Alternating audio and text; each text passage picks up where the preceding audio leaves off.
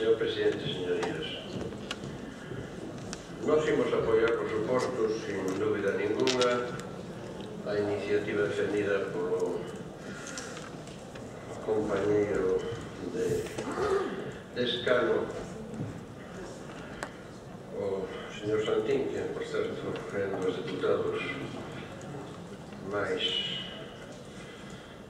eh, escrupulosos, rigurosos e serios na súa actividade e ten toda a miña admiración, ainda que a veces parece ser que iso non é nada apreciado. Eh, por tanto, non comparto absolutamente as súas argumentacións, tamén as argumentacións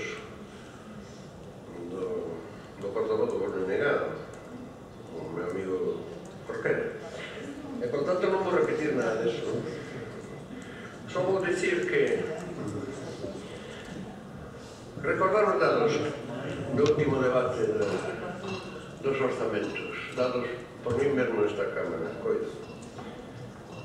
Ano 2010, daquela aos últimos os datos máis, máis recentes eh, oficiais disponibles do IRPF, o 82% da reclamación procedía dos cidadáns que reciben rendas salariais, Desboxem Tomais dos pensionistas, por tanto, jubilados. O seña, a xente traballadora aportaba o 92% dos, da recreación de BPF.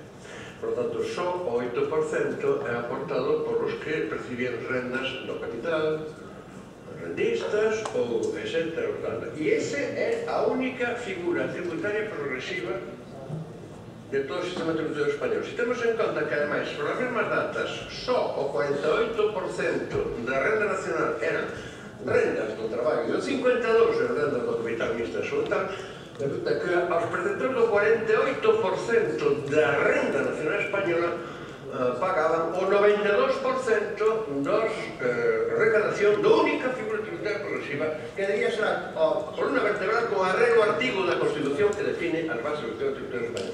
A partir de aí, o resto importa non nada.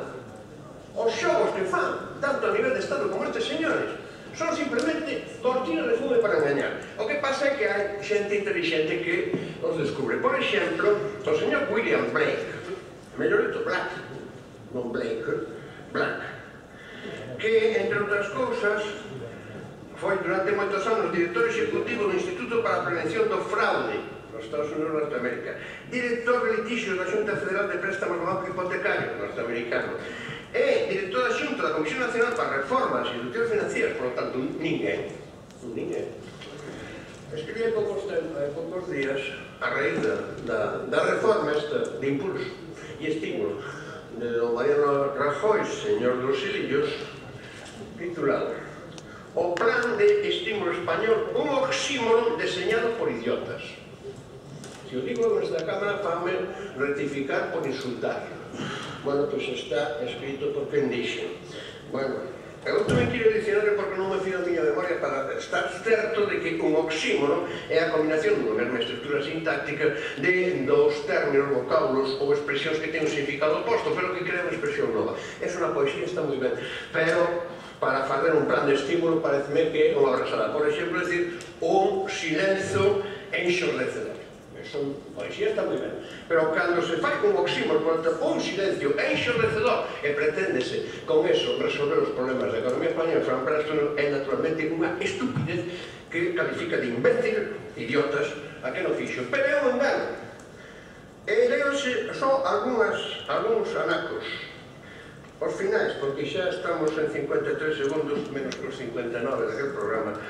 E, eh, por lo tanto, vou me centrar en decir, tal como se revela no informe, por exemplo, do, da BBC, Rajoy non ten ningún plan de estímulo, ten un plan máxico para a productividade. Rajoy plantea continuar coa austeridade. Ainda está a tratar de sangrar a economía española persistindo en conseguir os presupuestario está contando o mito de que non importa que o orzamento sexa os xa que os programas de formación de emprego son máxicos e os programas máxicos, como si nada, mellorarán a productividade e lograrán incrementar a explotación e o emprego.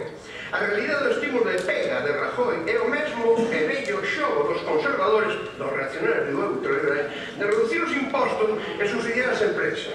Recordar que Rajoy vendeu o seu programa reivindicando o seu principal objetivo era incrementar a renda disponible ás familias e vigorizar o consumo, pero os plan descrito por Rajoy non terá absolutamente ninguna influencia na renda disponible das familias e en vigorizar o consumo. O plan de estímulo de Rajoy é unha brincadeira. O afán dos seus apoloxetas, mas o Wall Street Journal, ou a, a BBC por axudar o intento de Rajoy de rebautizar a desastrosa austeridade como estímulo é o aspecto máis vergonzante dese país. Eh? dando ciudadanía. Ante ese fraude, nos apoiamos en súa, a súa iniciativa, pero é como votar en margaridas os cochos. Nada. Gracias.